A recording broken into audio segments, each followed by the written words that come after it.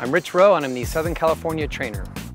I was a fitness owner in uh, San Diego for 15 years and while training a personal training client, he came up to me with this unique piece of footwear and said, hey, take a look at it and try it on. And being that I work outside, teaching beach volleyball on the sand, um, that I work with balance and posture, he wanted me to try them out and just see how this unique piece of footwear worked. And uh, I've been using them ever since for hiking, biking, walking, you know, everyday lifestyle. So I'm a outside enthusiast. My main hobby is rock climbing. Just recently was able to climb El Capitan, the nose in Yosemite. The anti-shoe is unlike any other piece of footwear and it simulates walking on soft natural ground. You'll think that when you're in MBTs that you're walking barefoot on soft surfaces. It's unique in what it does for your body. It's a shoe with benefits.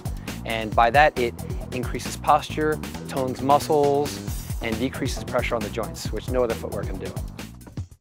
At all times, you're giving your body signals, and your body has to adapt. So why not challenge your body a little bit more and get even more benefit? One of the great things that I do in MBTs is do one-legged activities. Just by standing in your MBTs, you're having a balance on that center point. So whether I'm doing exercises at the gym, I might be doing a lateral raise, I'm doing a one-legged. The most common is more booty today. While standing here, I'm getting 20% more glute activity. Can't get better than that. I mean, I'm, I'm 42 now, and I didn't used to consider walking as an activity. I'm a very fit person and do all this activity.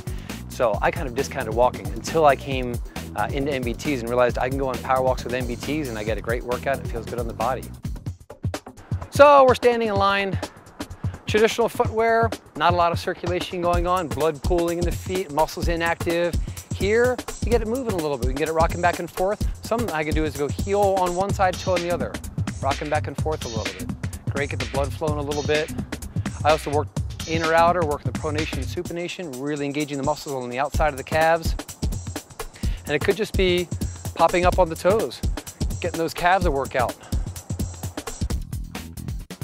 I've hitchhiked over 20,000 miles. I've hitchhiked across Turkey, across um, parts of Mexico, up and down the East Coast, up and down the West Coast, through Europe. So that's, that was something I used to do as a hobby. I'm Rich Roe and I go to bed sometimes with just my MBTs on. Just another day at the office. Ah, oh, how can you resist? posted no trespassing.